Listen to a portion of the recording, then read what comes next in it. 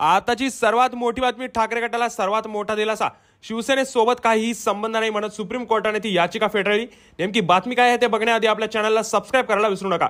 निवडणूक आयोगाने शिंदे गटाला धनुष्यबाण चिन्हासह पक्षाचं नाव दिलं आहे. निवडणूक आयोगाच्या या निर्णयानंतर उद्धव ठाकरे गटाला हा मोठा दिलासा मिळाला आहे. शिंदे गटाला शिवसेना भवन शिवसेनेचा शाखा आणि पक्षाचा निधी मिळावा यासाठी आशिष गिरी नावाच्या वकिलाने सुप्रीम कोर्टात याचिका दाखल केली होती. मात्र ही याचिका सुप्रीम कोर्टाने फेटाळली आहे. आशिष गिरी यांचा शिवसेनेसोबत काहीही संबंध नाही असं म्हणत ही याचिका कोर्टाने फेटाळली आहे. शिवसेना पक्ष कोणाचा याबाबत निवडणूक आयोगाने निर्णय दिला आहे. याचा आधार घेत वकील आशिष गिरी यांच्याकडून सुप्रीम कोर्टात याचिका दाखल करण्यात आली होती. या याचिकेमध्ये शिवसेनेच्या संपत्तीवर दावा करण्यात आला होता.